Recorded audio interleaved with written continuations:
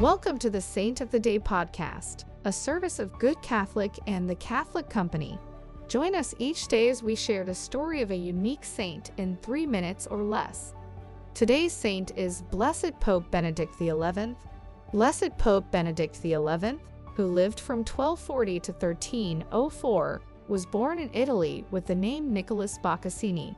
At the age of 14, he entered the Dominican order and went on to become a theology professor before being named Master General of the Order in 1296.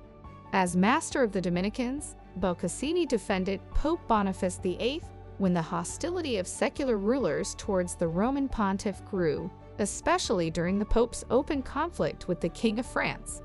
In reward for his loyalty, Boccassini was elevated to cardinal and then Bishop of Ostia. When Hungary was torn with civil war, Boccassini was sent there by the Holy See to restore peace. When he returned to Rome, the Pope's conflict with France reached its height. Boniface VIII was seized, beaten, and driven from the sacred palace by his enemies, while Boccassini was one of only two cardinals who defended the Holy Father to the end. After Boniface VIII died, Boccassini was elected in his place and took the name Blessed Pope Benedict XI.